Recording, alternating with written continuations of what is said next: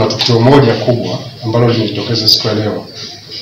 Tukio hilo ni tukio la mauaji uh, mnamo tarehe 30 mwezi wa tatu elfu mbili elfu mbili na ishirini majira ya saa kumi na mbili asubuhi huko maeneo ya Kidatu B kata ya Ipuli manispaa na mkoa wa Tabora, mtu mmoja ambaye anafahamika kwa jina la MT kumi na moja sabini na tatu arobaini na mbili Private Samuel Machungu Anton miaka 28 Mkuria, askari wa jeshi la wananchi wa Tanzania, kikosi cha 262 Milambo.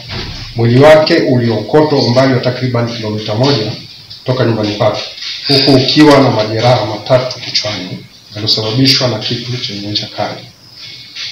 Inadaiwa askari huyo muda mfupi kabla ya kifo chake alikuwa kwenye doria shirikishi na wananchi wa mtaani kwake, na baada ya kumaliza doria hiyo aliachana na wenzie na kurudi nyumbani kwake na akiwa njiani kurejea nyumbani alikutana na watu wanaodhaniwa kuwa ni vibaka ambao walimshambulia hadi kupelekea kifo chake na kisha kumpora simu yake.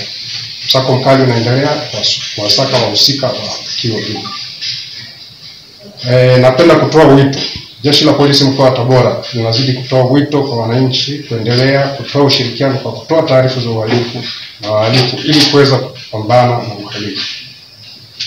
E, kuhusiana na tukio hilo ni kwamba msako mkali unaendelea kuhakikisha kwamba waliohusika na tukio hilo wanapatikana bila kujali wala kumwonea mtu, kuhakikisha kwamba tunafanya upelelezi kwa uweledi na uaminifu wa hali ya juu ili anayehusika aweze kuchukuliwa hatua. Hakuna mtu anayeshikiliwa mpaka kwa chini. Ndio maana nakwambia kwamba e, sasa hivi kuna msako mkali unaendelea kuna msako mkali unaendelea. Naamini baada ya muda si mrefu tutaweza kuwabaini wahusika.